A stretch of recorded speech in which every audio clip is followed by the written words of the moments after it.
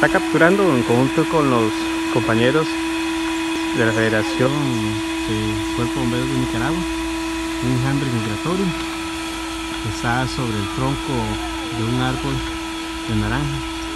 Está usando el método de aspirado.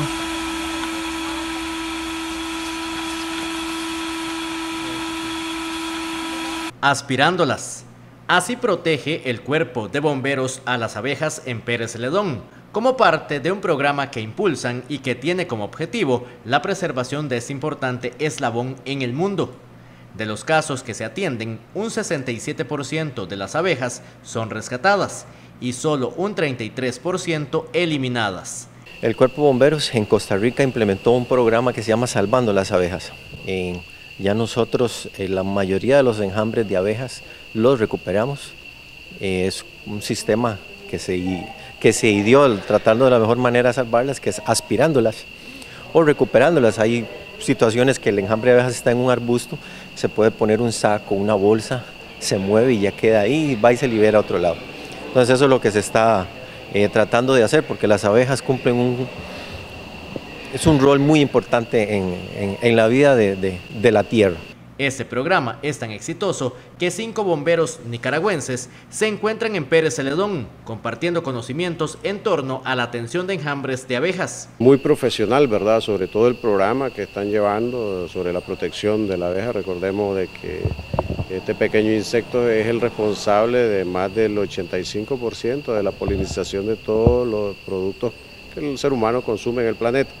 En ese sentido, pues ellos nos han compartido lo novedoso que tienen, ¿verdad? Con un equipo sobre una eh, bomba aspiradora, cómo innovaron esta idea para eh, no eliminar, no erradicar la abeja, sino que capturarla, ¿verdad? Tratarlas con cariño y transportarlas a su hábitat. Se realizó una selección de personal para venir hasta el Valle del General, entre ellos un apicultor que impulsa la preservación de las abejas.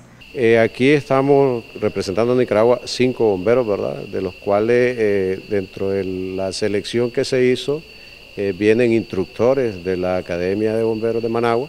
Igualmente, pues mi persona que estoy hacia el norte de Nicaragua, en, la ciudad de Estelí, y que dicho sea de paso, pues también formo parte de, la gran variedad de apicultores, porque en mi área también soy apicultor, entonces, por ende, es una mayor responsabilidad para seguir protegiendo esta pequeña abeja que tanto bien le hace a la población. Durante 2018 y 2019, la estación de bomberos de Pérez Celedón promedió unas 700 salidas por abejas, colocándola de primera en las estadísticas a nivel nacional, y por eso se convierte en una escuela importante para los nicaragüenses. Nosotros somos la estación que atiende más enjambres de abejas en Costa Rica. El año pasado teníamos un promedio de casi 700 enjambres de abejas, entonces la incidencia es muy grande.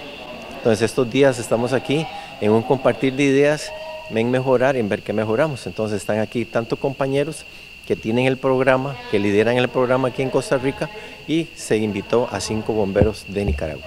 Sí, aquí hay un poco más de, incidencia, lo hemos eh, experimentado, ¿verdad? que hay hasta 15 o 14, 13, 9 salidas. Eh, y nosotros allá a diario pues atendemos dos, tres salidas de, que tienen que ver con incidentes con este pequeño insecto como es la abeja. En torno a las abejas, los bomberos de Pérez Celedón recomiendan llamar siempre a los expertos. En todo momento. Recuerden que las abejas son, es un insecto, ellos tienen sus su medios de protección. cuando la abeja lo pica, recuerden lo que inyecta es una enzima.